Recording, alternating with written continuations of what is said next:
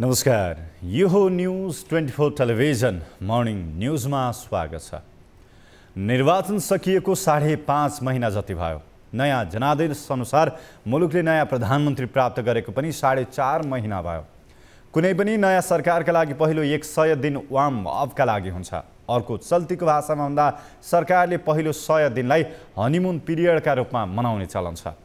प्रधानमन्त्री पुष्पकमल दाहाल प्रचण्डका लागि त यो अवधि समाप्त भइसकेको छ तर हिजो सातौँ पटक प्रधानमन्त्रीले मन्त्री परिषद पुनर्गठन गरेका छन् हिजो शपथ लिएका एघार मन्त्रीहरूका लागि पनि थप एक सय दिन हनिमुन पिरियड भनेर छुट्याउने हो भने पुरै आठ महिना वार्मअपमै सकिनेवाला छ यति गर्दा पनि मन्त्री परिषद पुनर्गठनको क्रम भने समाप्त भइसकेको छैन बुझिएसम्म सरकारमा रहेको नेकपा यसले वर्तमान प्रतिनिधि सभाको कार्यकाल कायम रहँदासम्म आफ्ना सांसदहरूका लागि आलो पालो मिलाएर सबैलाई मन्त्री बनाउने भएको छ।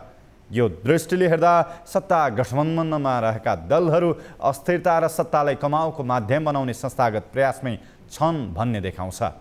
समस्यै समस्याले जर्जर भएको देशमा सरकार बन्ने प्रक्रिया नै महिनौसम्म लम्बिन्छ भने त्यस्तो सरकारले जनतालाई दिने सेवा प्रवाहको गुणस्तर चाहिँ कस्तो होला?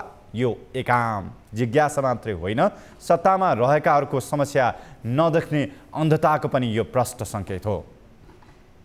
यो कुनै खराब प्रवृत्ति मात्रै होइन देशलाई जर्जर र असफल बनाउने दुष्टाइपूर्ण अभियान पनि हो। यो अभियानको नेतृत्व अहिलेका सत्ता गठबन्धन र त्यसमा पनि प्रधानमन्त्री पुष्पकमल दाहाल प्रचण्डले गरिरहेका छन्। सरकारले आफ्नो पूर्ण आकार लिनुमै कुनै प्रश्न होइन तर यसका नाममा भइरहेको समयको बर्बादी सबै बर्बादीको कारक हो। अब मर्निङ न्युजका हेडलाइन्स। प्रधानमन्त्री प्रचण्डले गरे सातौँ पटक मन्त्री परिषद पुनर्गठन। काङ्ग्रेसको आन्तरिक हानथापले सरकार अझै अपूर्ण। रोजेको मन्त्रालय नपाएको भन्दै जनमत सरकारबाट बाहिरियो।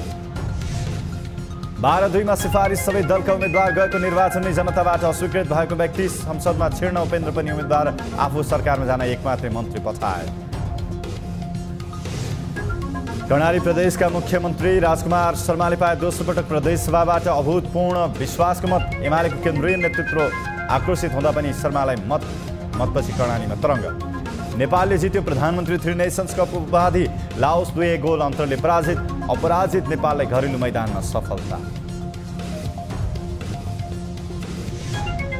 र अमेरिकाको पूर्व राष्ट्रपति डोनाल्ड ट्रम्प विरुद्ध आपराधिक अभियोगको मुद्दा चल्ने। ट्रम्पले अदालत समक्ष आत्मसमर्पण गर्ने अपेक्षा आउँदो राष्ट्रपति निर्वाचनमा धक्का लाग्न सक्ने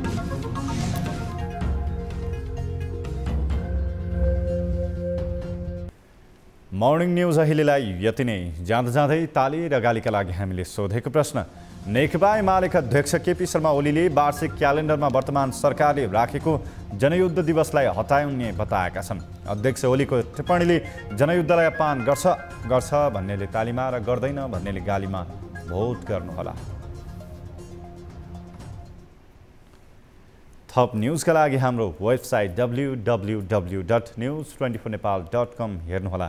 साथै हामीलाई फेसबुक ट्विटर र युट्युबमा पनि फलो गर्न सक्नुहुनेछ। यस्तै मोबाइल भाइबर र इमेलबाट ट्वेन्टी फोर हेल्पडेस्कमा समस्या र गुनासो गर्न सक्नुहुनेछ।